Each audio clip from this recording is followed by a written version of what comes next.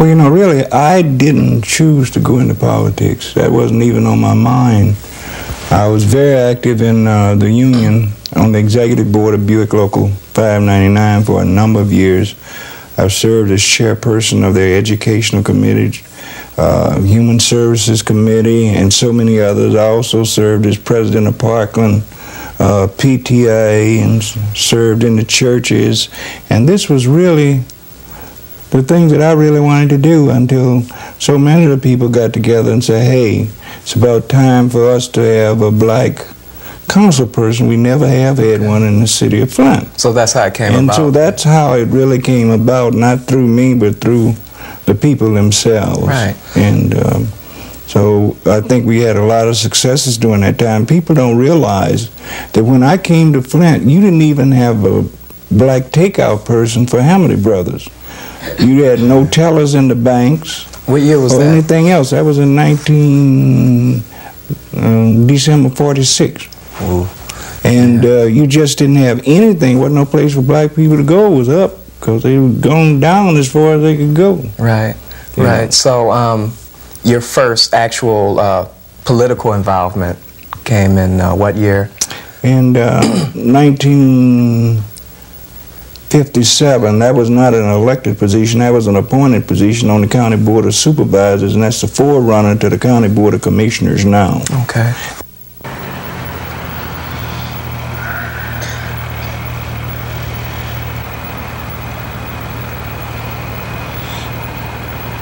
Day, June 16, 1988, the Flint Journal.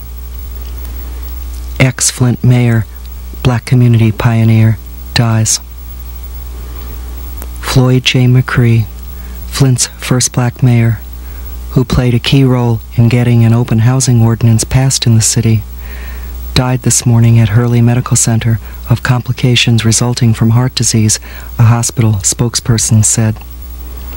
McCree, 65, Genesee County Register of Deeds, had been hospitalized on life support systems since Monday when he lost consciousness and suffered cardiac arrest at his office in the county administration building.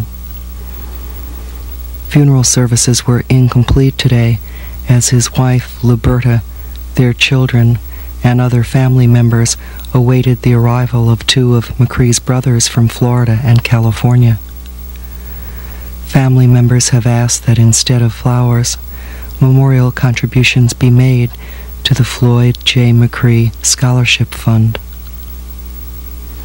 McCree, considered the community's leading mentor of black politicians, had been suffering from a heart condition and other health problems for several years.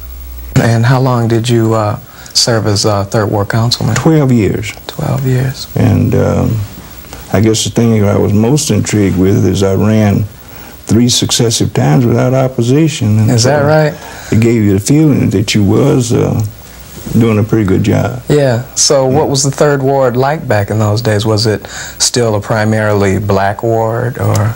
No, it was mixed. Uh, it was changing, but it was mixed. It was um, mostly black at that time. You had Hungarians, you had Italians, and everybody else, and they had been getting along, uh, you know, pretty good. They didn't have all the turmoils and things that we've witnessed in the last few years. Right. But it's a lot of services that they were not partaking of because nobody would get it for them. Okay. And uh, so this is, was the beginning of changing that particular area and, and really bringing it to the forefront. So tell us about the uh, uh, appointment process back then. So after you served as third ward councilman, uh, were you appointed to the mayor of of Flint? Uh, yes, at that time, Flint changed their charter in 1975.